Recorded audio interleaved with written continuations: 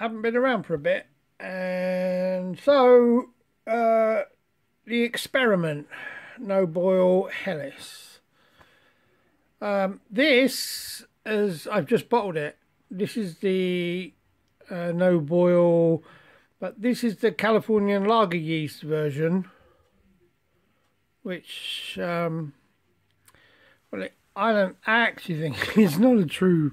It, it kind of does it like an ale yeast on our temperatures. So, um, so there it is. It came down to one zero uh, zero eight.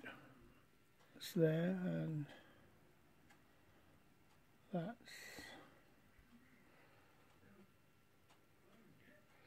Well, that's the whole shot, really. That those that's what I got. Uh, that was my uh, the first uh, batch, second batch, and um, I'm now going to put it away for a couple of weeks. We'll chill her down again in the fridge and um,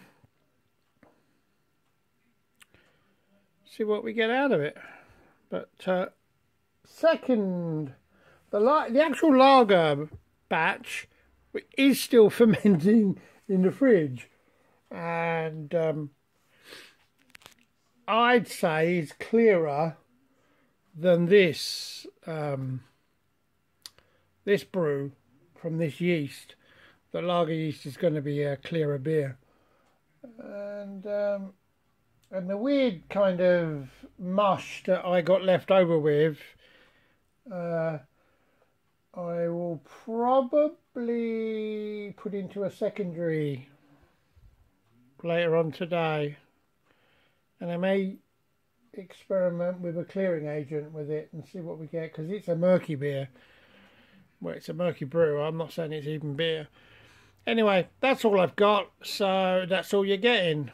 Yeah, I'll get another uh, video up at some point. I don't know when. It's going to take me a little bit of time, I think. But anyway, uh, that's another story. Um, yeah, I'm out of here. Cheers.